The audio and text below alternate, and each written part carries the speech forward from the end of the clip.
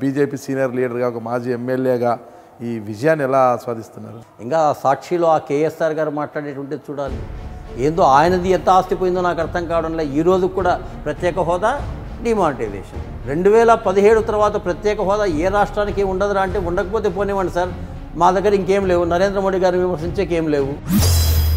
గతంలో పనిచేసిన ఎంపీగా కూడా పో హిందూపురం నుంచి పోటీ చేసిన సినీ నటుడు నరేష్ కుమార్తో మీకు ఏదో విభేదాలు పొడుచుకున్నట్టున్నాయి. అయితే బహుశా సినీ రంగంలో ఉన్న వాళ్ళందరూ ఏమో తెలియదు కానీ. పవన్ కళ్యాణ్ మీద మీ అభిప్రాయం ఏమి ఒక రకంగా చెప్పాలంటే ఈ కాలంలో ఉన్నటువంటి యొక్క యువకులకి తింగర్ తింగర్ చేష్టలు చేసి అట్రాక్ట్ చేస్తున్నటువంటి ఒక వ్యక్తి. ఆయన తింగరోడు అంటారు? ఎంత తిరిగి మీరు?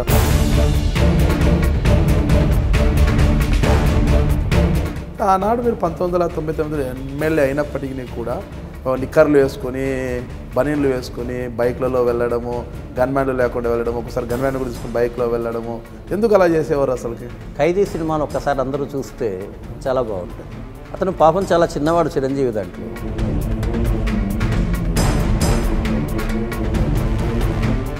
ఇది ప్రజలు చేస్తున్న తప్పు. గతంలో కూడా మీరు ఒక కేకుల విషయంలో పులివెందల వాళ్ళతో తలబడ్డారని తెలిసింది. గాంధీజీ సినిమాని చూడమని చెప్తుంటాను నేను ఎప్పుడు. ఫ్యాక్షనిస్టులు అంటారు ఏ ఫ్యాక్షనిస్ట్ దమ్ము పెట్టుకొని ప్రశాంతంగా తన భార్యతో తన పిల్లలతో సినిమాకి వెళ్ళినటువంటి ఒక్క ఫ్యాక్షనిస్ట్ని చూపించండి. అప్పుడు ఏమన్నా మేము ఇరవై ఐదు మంది మా- ఇరవై ఐదు మందిని మర్డర్ చేసాం దాంట్లో పోలీసు వాళ్ళని కూడా మర్డర్ చేసాం మాతో నేను తగాదా పెట్టుకుంటాను అంత ధైర్యం ఉందని మీరు అడిగిండే ప్రశ్న అతను అడిగాడు. నేను ఆయనకు ఒకటే సమాధానం చెప్పిన ఫ్యాక్షనిస్టులకి అందరికీ కూడా ఇదే సమాధానం చెప్పాలని కూడా అనుకుంటాను నేను. నీవు ఎన్ని మర్డర్ అటెంప్ట్స్ చేసావన్నా? ఏం చేసింటాం ఒక వంద రెండు వందలు చేసింటా ఉన్నాం వంద రెండు వందల అటెంప్ట్స్ చేస్తే ఇరవై ఐదు సక్సెస్ అయినాం ఎందుకంటే నీకు తాగితే తప్ప మర్డర్ చేసే ధైర్యం ఉండదు. జైల్లో ఒక వ్యక్తి కానిస్టేబుల్ అక్కడ ఆ కటకటాల ముందర నిలబడుకున్నాడు. ఇంకో వ్యక్తి ఆయన పాదాలను తాకుతూ అన్న అన్న అన్న అన్న సిగరెట్ తిన్నా సిగరెట్ తెప్పించిందా నాలుగు పెట్టబోతుందన్నా సిగరెట్ తెప్పించాడు ఏ నోరు మూసుకోండి రాని వీడి కాలు ఎదిలిస్తా ఉన్నాడు. చూస్తే అంత హీనమైన పరిస్థితి. నేను ఎవడో ఒక దొంగ ఎవడైనా ఉన్నాడేమోలే అట్లా మాట్లాడుతున్నాడేమో అని చెప్పేసి నేను అనుకున్నాను అక్కడికి పోతే ఎవరంటే ఆ ఫ్యాక్షన్ నాయకుడు అక్కడ ఏమో హీరోయిజం వెలగబెడుతుంటాడు.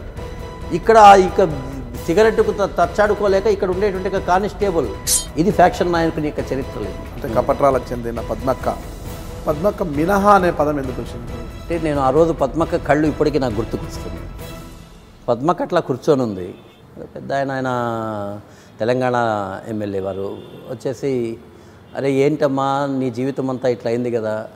ఇంక ఇప్పటికీ నువ్వు ఫ్యాక్షన్ ఎందుకు మెయింటైన్ చేస్తావు? మానేయకూడదా? అని అంటే ఆమె ఫెరోషియస్ కళ్ళు ఇప్పటికీ నాకు అట్లే గుర్తున్నాయి. ఎట్లా మానేస్తాను?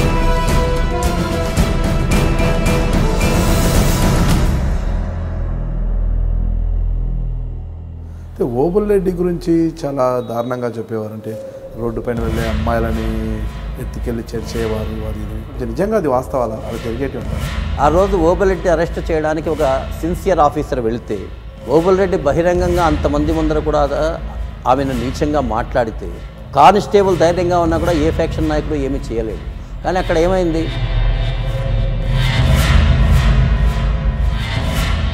పార్థసారథి గారు పనిచేసిన ఐదేళ్ళలో జిల్లేడు బండ రిజర్వాయర్కి నిధులు తీసుకురావడం తప్పితే పెద్దగా వణిగిరింది ఏమీ లేదు అన్న విమర్శలు ఉన్నాయి కదా? అంటే ప్రజలకి డెవలప్మెంట్ అంటే ఏంటంటే ఒక ఎమ్మెల్యే వచ్చినప్పుడు ముందర పలకలు కొడుతూ అది చావు మేళం కానీ ఇంకో మేళం కానీ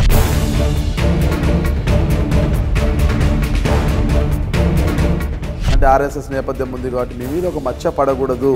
అవినీతి పరుడు ఆస్తులు సంపాదించాడు అది అని ఒక మచ్చ పడకూడదనే ఉద్దేశంతో మీరు చేసే ప్రతి పనికి ప్రతి వ్యాపారాన్ని కూడా మీకు నమ్మిన బంటు మీకు కుడభుజంగా ఉన్న విష్ణువర్ధన్ రెడ్డి పేరు పైన చేసేవారు.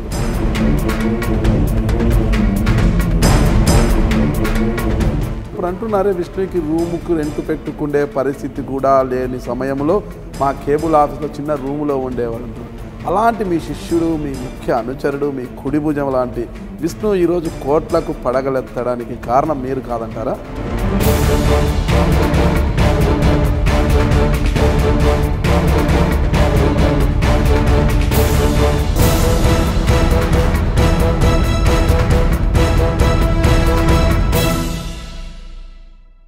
నేను పార్థసారథి భారతీయ జనతా పార్టీ మాజీ శాసనసభ్యుడు కదిరి నుంచి మీరు ఇప్పుడు చూస్తున్నారు ఐ డ్రీమ్ న్యూస్.